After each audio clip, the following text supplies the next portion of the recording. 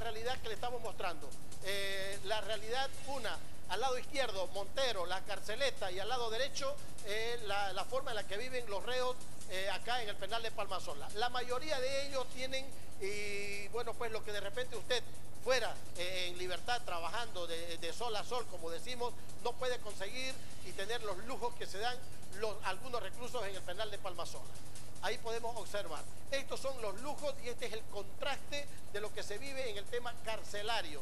Una realidad que no podemos eh, tapar el sol con un dedo. Una realidad que es latente y que se la puede ver eh, todos los días. Pero lamentablemente para nuestras autoridades no la ven. Nadie ve esto, lamentablemente. Nuestras autoridades hacen caso omiso a todo lo que se denuncia. Nuestras autoridades no escuchan.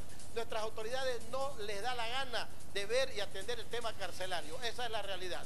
Esa es, esas son las dos realidades que le estamos mostrando.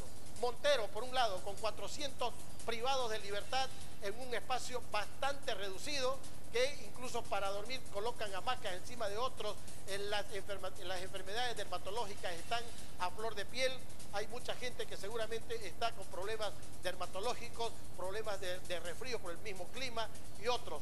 Mientras tanto, en el, en el penal de Palmasola, en el sector del régimen abierto, esta es la vida que se dan algunos internos y por si, fuera poco, eh, suben la fotografía a las redes sociales para que la gente vea cuál es la forma en la que ellos viven.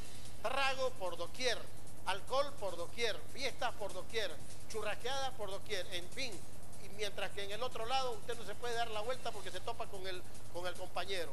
Esas son las dos realidades que nosotros se las mostramos, se las mostramos para que usted tenga una idea de lo que es el sistema carcelario en nuestra ciudad. No le estamos mostrando del país, le estamos mostrando de Santa Cruz. Esa es la realidad y por eso es que se la mostramos.